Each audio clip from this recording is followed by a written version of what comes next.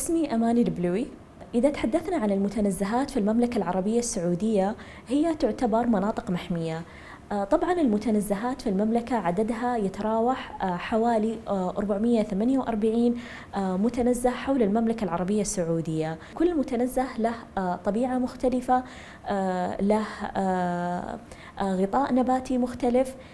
طبعا إحنا عندنا متنزهات تعتبر تستقطب الزوار. يعني مثال عندنا متنزه أوثيلان في منطقة الرياض آه، يعتبر من أكبر المتنزهات في آه، المنطقة. متنزه ثادق الوطني آه، في هو موقعه في منطقة الرياض.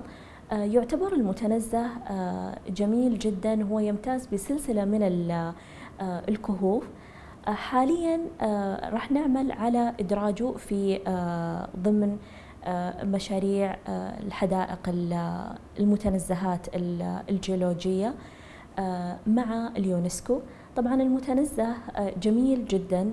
آه، يوجد فيه أكبر الوديان وهو وادي عبيثران سمي بهذا الاسم لكثرة نبات البعيثران طبعا هو له رائحة جميلة جدا وهو يعتبر من ضمن الغطاء النباتي للمملكة العربية السعودية.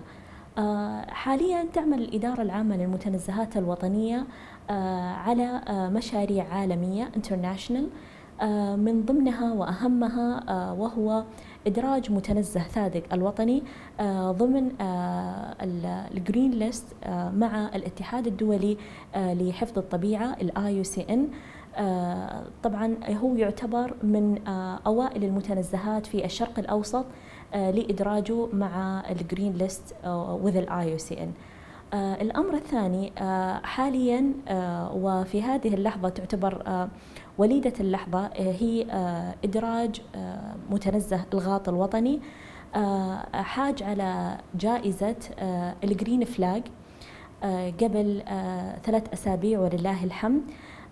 المتنزهات الوطنية ثروة عظيمة في المملكة العربية السعودية. آه، حاليا نعمل على المحافظة عليها واستقبال الزوار آه، والعمل آه، على السياحة البيئية في هذه المتنزهات أيضا مع مشاركة المجتمع المحلي وهو من ركائز هذا العمل في هذه الإدارة.